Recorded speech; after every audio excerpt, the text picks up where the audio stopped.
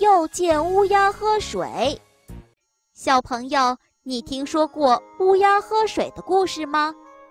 故事里的小乌鸦因喝不到小瓶子的水，于是将小石头丢进瓶里，将水位升高，并喝到了里面的水。不久，乌鸦喝水的事情就传开了，小动物们都称赞乌鸦的聪明。一开始，乌鸦心里很高兴，但是赞美多了，渐渐的，乌鸦开始骄傲起来，也觉得自己聪明无比，到处夸耀自己的这个本事。又是一个太阳高照的夏季，火辣辣的太阳照在大地上。这么热的天，一定要找点水喝才行。于是乌鸦飞呀飞，到处找水喝。要是再能遇到有水的瓶子，那就好了。可惜飞了半天，乌鸦还是没有找到水源。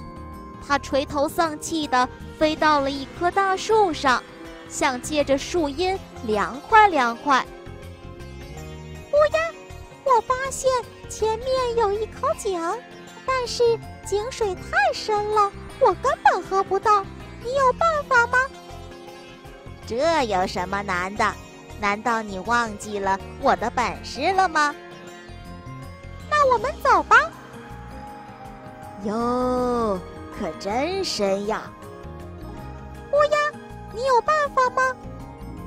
你等着，我来想办法。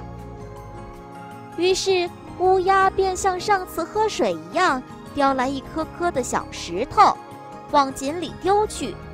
一颗，两颗，三颗，丢了十几颗下去了。可是井水一点儿也没有上升。乌鸦开始着急了，他心想：怎么井水一点儿都没有升起来？这个时候，小喜鹊不耐烦了。